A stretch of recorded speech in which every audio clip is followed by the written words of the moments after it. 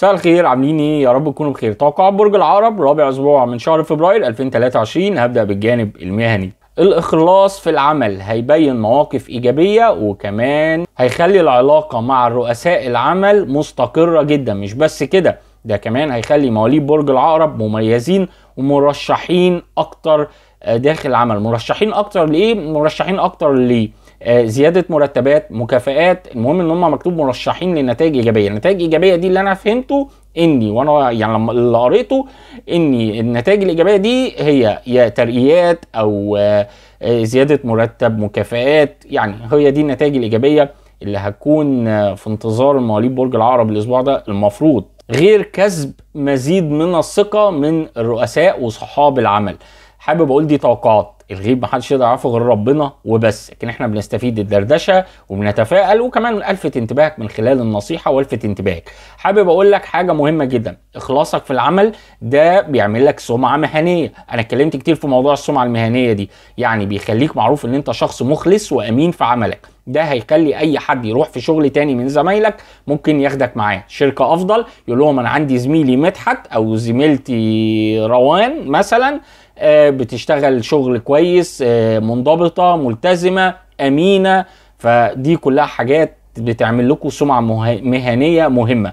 آه، غير إني أنت صدقني لو بصيت لها من الناحية المادية الماديات هتيجي هتيجي. ما دام أنت بتعمل شغل مظبوط وأنت بتعملي شغل مظبوط وبتراعي ربنا وبتجتهد لده وبتطور من نفسك تاني وبتطور من نفسك يعني بتشتغل على نفسك ده كله هيساعدك إنك تتقدم وتتنقل وتتنقلي في حتة تانية. ربنا يا رب يوفقكم ويديكم الحكمة ويقويكم الجانب العاطفي هبدأ بالعزاب فرص ارتباط محتمل إنها تكون ضعيفة وده بسبب عدم المشاركة مع اجتماعات. يعني مواليد برج العقرب الأسبوع ده مش هيكونوا جاهزين إن هم يخرجوا أو يشاركوا في مناسبات أو يشاركوا أصحابهم.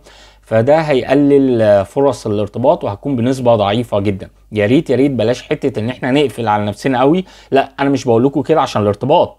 خالص. أنا بقول لكم كده عشان نفسيكم يعني إحنا لازم كل فترة كده ما ينفعش نفضل أسبوع ما بنخرجش بره البيت أو حياتنا من الشغل للبيت ومن البيت للشغل.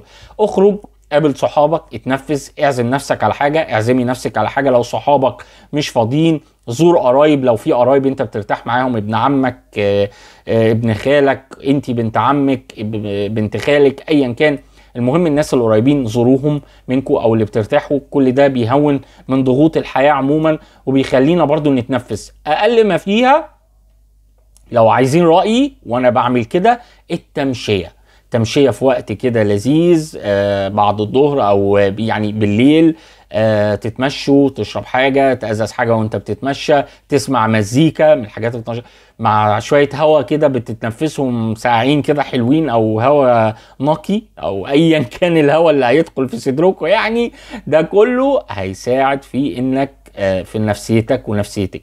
التمشية من الحاجات اللي أنا بتفرق معايا جدا وأتمنى انكم تجربوها لو ما جربتوهاش نمشي لك ساعة كده. وأحلى واحلى تمشى في مكان بتحبه منطقة تكون بتحبها زي عندنا في مصر وسط البلد أو في اسكندرية مثلا برضو وسط البلد وعلى الكورنيش. ولو في بحر تمشى من قريب من الكورنيش هيساعد في راحتك النفسية.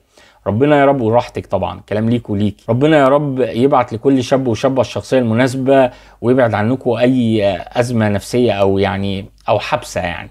خش بقى على المتزوجين والمرتبطين. أسبوع خلافات بسبب إيه بقى؟ التودد والتقرب. يعني هي مكتوبة كده.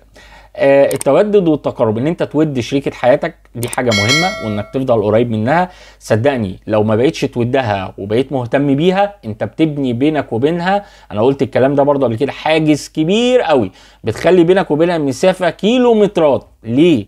لو هي اللي هتخلي بينك وبينها مسافة امال هتقرب مين؟ ها؟ هتقرب مين؟ وانت كمان ما ينفعش تعملي مسافة بينك وبينه. لازم دايما توديه لازم تطمني عليه. إن أنتوا دايما يبقى في بينكم اهتمام ده هي برضه هيخلي الحياة عارفين؟ يعني الحياة برضو حلوة. هيخلي عارف انت لما تشم ريحة حلوة فجأة ده هيخلي كده إحساس حلو. إن أنتوا في حياتكم حاجة حلوة ماشيين عليها. آه هتتعودوا على ده. هيقوي العلاقة هيزود الحب ما بينكم سواء مرتبطين أو متزوجين. الاهتمام من الحاجات صدقوني المهمة جدا في العلاقة. ولو قلة الاهتمام من الحاجات اللي بتخلي العلاقة باردة وكمان بتخلي العلاقة شبه يعني بتقرب من الانهيار. وبيبقى في نتائج كمان سيئة مش عايز أتكلم عنها بسبب الإهمال ده ومش عايز أقولها يعني. من كتر ما هي سيئة مش حابب أقولها بصراحة قدامكم.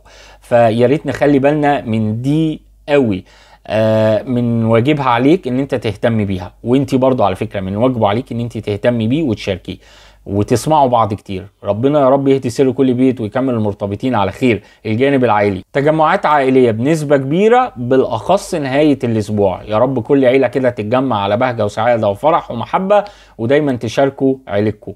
أما بقى بالنسبة للجانب المالي أسبوع مستقر ماديا ودخل إضافي على نهاية الأسبوع. مواليد برج العرب المفروض إن في دخل إضافي هيجي لكم نهاية الأسبوع ده. أتمنى ده ويا ريت لو في دخل إضافي أو زيادة نشيله للأيام اللي تكون يعني إيه الأمور فيها مأزمة شوية. وإحنا شايفين الظروف الاقتصادية في العالم. مش حابب أفكركم وأنكد عليكم يعني بس يعني خلي بالكم الحتة دي الفترة دي. ربنا يا رب يوسع من رزقكم صحاب المشاريع. أرباح متوسطة لظروف ما يمر بيها مشروعكم. يعني مشروعكم بيمر بظروف ما ودي هتأثر على الأرباح وتخليها متوسطة.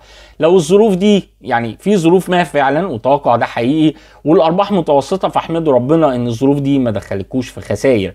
فدي حاجة كويسة وابتدوا تعاملوا مع الظروف دي لأن لو الكلام ده حقيقي يبقى الظروف دي لو اتعالجت الأرباح هتزيد بشكل كويس. ده منطقي يعني. ربنا يوفق أصحاب المشاريع ويزيد من أرباحهم. الجانب التعليمي. أسبوع محتمل. نتائج سلبية بسبب التنزه بكثرة. يعني الشباب الطلاب برج العقرب هيخرجوا كتير. هيتفسحوا كتير وهيطنشوا الدراسة وده هيكون ليه نتائج سلبية. الكلام ده ممكن يبقى حقيقي. الكلام ده ممكن يبقى حقيقي. لو قعدنا مهملين الدراسة طبيعي وبقينا نخرج وعايشين حياتنا في اللذيذ قوي اللي هو في الطراوة كده بعيد عن الدراسة. طبيعي انها هنلاقي بعد كده نفسنا مزنوقين زنقة مش حلوة. بلاش ندخل في الزنقة دي. يا ريت. أنا مش ضد إن أنت تخرج ولا تفك عن نفسك أو تخرجي مع أصحابك. لا أخرج. بس مش على طول. يعني خرجت النهارده يبقى بكرة أبدأ جد. صح ولا إيه؟ الخروجة بتاعت النهارده دي المفروض تديك نشاط وحماس كده وتعمل لك ريفريش تخليك داخل كده بصدر رحب على المذاكرة ومديك طاقة يعني وتبقى حافز ليك ده المفروض. وده اللي هيوصلكم للنجاح اللي أنتوا أكيد بتتمنوه. وإن شاء الله إن شاء الله نجاح لكل الطلبة. دي كانت توقعات برج العقرب لرابع أسبوع من شهر فبراير 2023 لو عجبكم الكلام ده ما تنسونيش في ال like. لو مش مشترك أو مشتركة يا ريت تشتركوا عشان تشوفوا كل جديد من فيديوهاتنا. أنا بعمل فيديوهات معلومات عامة. لو أنت وأنت أول مرة تشوفوني هسيب لكم link الفيديوهات في الوصف في ال description تحت تاخدوا فكرة عن الفيديوهات. متشكر قوي ليكم سلام.